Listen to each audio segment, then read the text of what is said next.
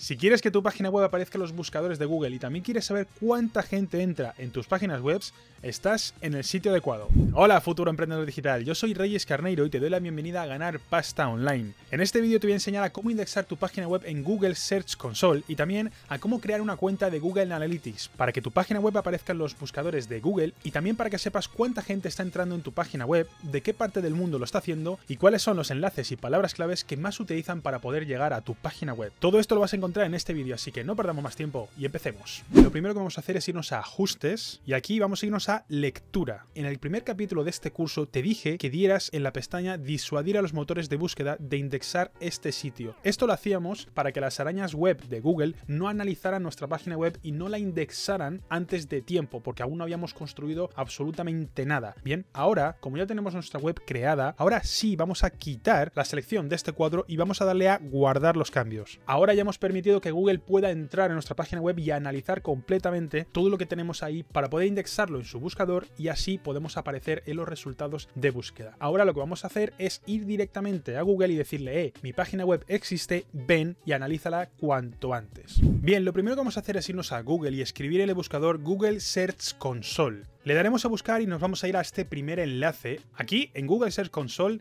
le daremos a empezar ahora. Nos pedirá que nos registremos con uno de los correos electrónicos de Google. Una vez dentro nos aparecerá una información parecida a esta. Y lo que vamos a hacer es irnos aquí arriba a la izquierda, justo debajo de Google Search Console, y vamos a darle aquí a la flecha para que se despliegue el menú. Vamos a ir a añadir propiedad, y cuando se nos abra esta ventana vamos a elegir prefijo de la URL. Podríamos elegir dominio, pero es un poco más avanzado hacer este paso. Yo te recomendaría que hicieras este otro paso que te voy a explicar de una manera muy sencilla. Donde pone introduce una URL, vamos a colocar nuestra página web. Vamos a dar a continuar y nos va a aparecer este cuadro que pone verificando la propiedad. Nos va a aparecer este archivo descargable que vamos a darle para que se descargue en nuestro ordenador. Una vez descargado, te vas a ir al administrador de tu página web. En mi caso es cpanel y yo accedo desde seret.net. En la descripción de este vídeo tienes un enlace que te manda directamente a seret.net. Vamos a clicar encima, iremos a área del cliente y una vez dentro de Seret buscaremos nuestro dominio y accederemos a nuestro cpanel, a nuestro administrador web. Iremos a administrador de archivos y clicaremos encima. Se nos va a abrir el administrador de archivos y vamos a ir aquí a la izquierda a public html y clicaremos encima y no clicaremos en ningún otro sitio de esta barra lateral. Iremos aquí arriba donde pone cargar, clicaremos también y se nos abrirá esta ventana donde podremos arrastrar el archivo que nos hemos descargado de Google Search Console, que en mi caso yo lo tengo aquí abajo, pero si tú lo has cerrado solo tienes que ir a la carpeta de descargas de tu ordenador y coger este archivo y arrastrarlo aquí encima o darle a seleccionar archivo y buscarlo directamente. Una vez subido volveremos atrás y aquí tenemos el archivo que se ha subido. Cerraremos todo y volveremos a Google Search Console donde habíamos dejado pausado este paso de verificación. Como ya hemos subido el archivo, lo que vamos a hacer es darle aquí al botón de verificar. Y ya nos va a aparecer en nuestro Search Console. Damos a ir a la propiedad, y ya nos aparece aquí encima en nuestro menú. Aquí tendremos un poco de información sobre el rendimiento, la cobertura de nuestra página web, pero después vamos a irnos a Google Analytics donde vamos a tener muchísima más información.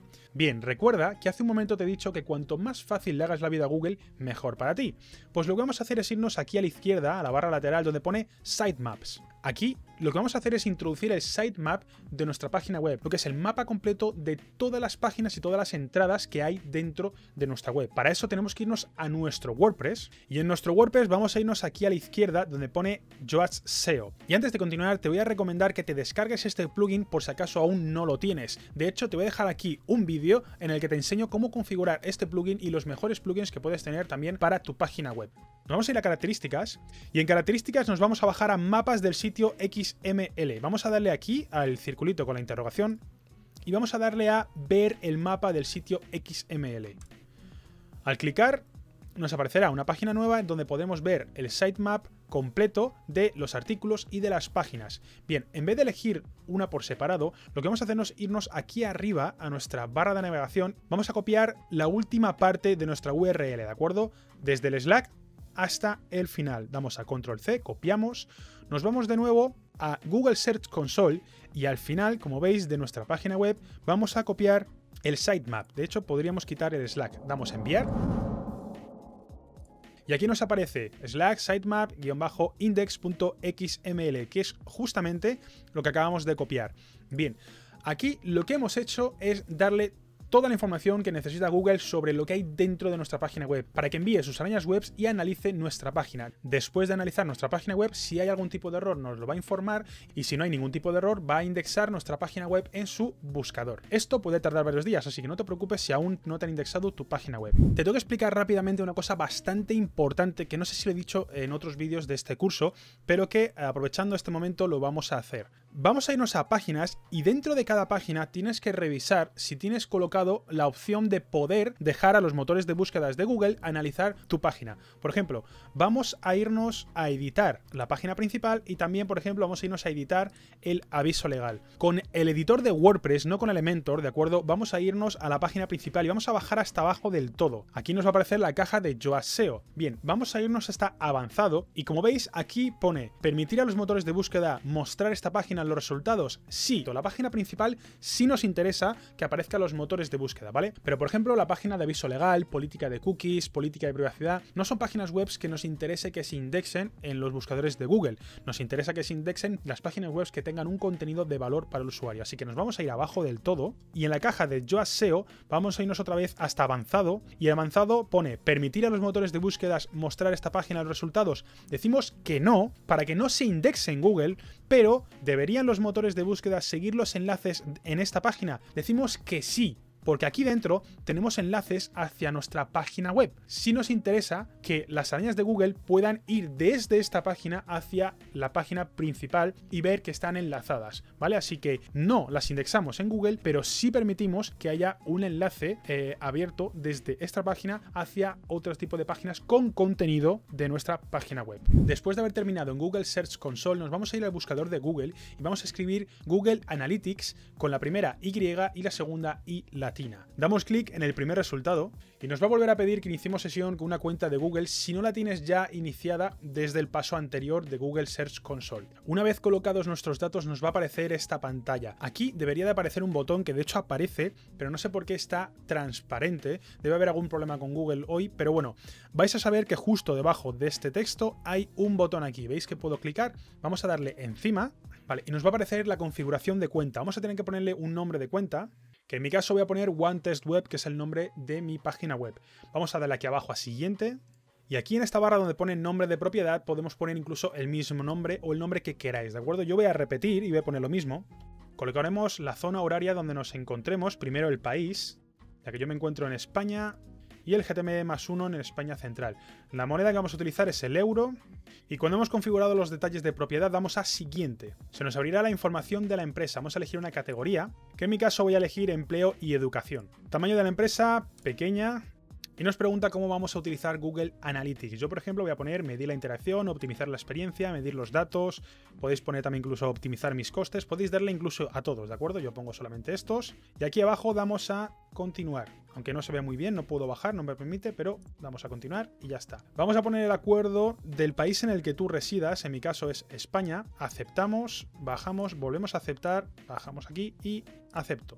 Como veis, me lo he leído mucho. Vale, nos aparece esta ventana para que elijamos qué tipo de correos electrónicos queremos que nos llegue de parte de Google Analytics. Yo no voy a poner nada, le voy a dar a guardar porque solamente os estoy enseñando. Esto nos está diciendo que especifiquemos qué es lo que queremos que Google Analytics analice. En mi caso, yo quiero que analice una página web. Así que le voy a dar y voy a colocar URL del sitio web, siempre, en mi caso, con HTTPS. Y voy a poner la URL de mi página web. Vale, quitamos el HTTPS porque ya está puesto aquí. Mi sitio web, lo mismo de siempre. One Test Web, medición mejorada, perfecto, crear flujo. Después de conseguir nuestra ID de medición, vamos a utilizar otra función de Google para poder meter todos estos datos dentro de nuestro WordPress y así poder analizar los datos que proceden de nuestra página web y saber exactamente qué está ocurriendo con el tráfico de nuestra página web utilizando una función llamada Google Tag Manager. Por eso nos vamos a ir al buscador de Google y vamos a escribir Google Tag Manager. Vamos a darle a buscar y clicaremos donde pone tagmanager.google.com. De nuevo, si no tienes ningún perfil creado, tendrás que darte de alta con tu identidad de Google. Se te abrirá directamente el Tag Manager y vamos a irnos aquí arriba a la derecha donde pone crear cuenta. Bien, rellenaremos rápidamente todos estos datos. Aquí en nombre de contenedor pondremos nuestra página web y pondremos que es un sitio web. Daremos a crear. Elegiremos el idioma, aceptaremos las condiciones y aquí arriba a la derecha daremos que sí. Una vez hecho esto, nos darán dos códigos, uno para poner en el head y otro para poner en el body. Para eso tenemos que volvernos a nuestro WordPress e instalar un plugin. Y en nuestro WordPress iremos a Plugins, Añadir nuevo, y aquí arriba en el buscador escribiremos Google Tag Manager y elegiremos este plugin de aquí, el naranja, Google Tag Manager for WordPress. Daremos a instalar ahora y después activar. Una vez instalado nos aparece este mensaje de aquí, por favor introduce tu ID de Google Tag Manager, le daremos encima y tendremos que poner aquí nuestra identificación de Google Tag Manager. Esto lo podemos encontrar de varias maneras. Como en nuestro WordPress hemos instalado el plugin de Google Tag Manager, podemos coger el código desde el head, podemos coger el código desde el body o también podemos coger el código de aquí arriba de nuestro perfil de Google Tag Manager. Si nosotros clicamos encima nos vuelve a aparecer la ventana emergente que teníamos antes con los códigos tanto de head como de body, ¿de acuerdo? Puedes copiar este código dándole aquí a copiar, nos volveríamos a nuestro WordPress y aquí en ID de Google Tag Manager colocaríamos nuestro código, daríamos a guardar cambios. Una vez hecho esto nos vamos a ir a Google Analytics y vamos a coger nuestra ID de medición, daremos a copiar, copiaremos este código y nos iremos de vuelta a Google Tag Manager. En Google Tag Manager daremos aquí donde pone añadir nueva etiqueta. Ok, cuando se nos abra esta ventana emergente daremos encima de este cuadro y aquí elegiremos Google Analytics configuración de Google Analytics 4. En mi caso, la segunda opción. Y aquí es donde pegaremos la identidad de medición, ¿de acuerdo? La misma ID de medición que teníamos en Google Analytics. Aquí, vale, clicamos en el segundo cuadro donde pone activación, damos a todas las páginas y después damos a guardar. Una vez hemos hecho esto, tenemos que ir aquí arriba a la derecha donde pone enviar, cambiaremos el nombre de la versión y daremos arriba a la derecha de nuevo a publicar. Una vez hecho esto ya tenemos publicada nuestra etiqueta utilizando Google Tag Manager. Ya tendríamos configurado todas nuestras analíticas tanto para Google Search Console, Google Analytics y también Google Manager, ¿de acuerdo? En cuanto las arañas de Google entren en tu web y la indexen, empezarás a aparecer en los resultados de búsqueda de Google y la gente empezará a clicar en tu página web entrando y navegando por tu web. Y en cuanto empieces a recibir tráfico podrás ver las analíticas de tu página web tanto en la página principal como aquí en la pestaña de tiempo real para ver la interacción que están teniendo las personas con tu página web.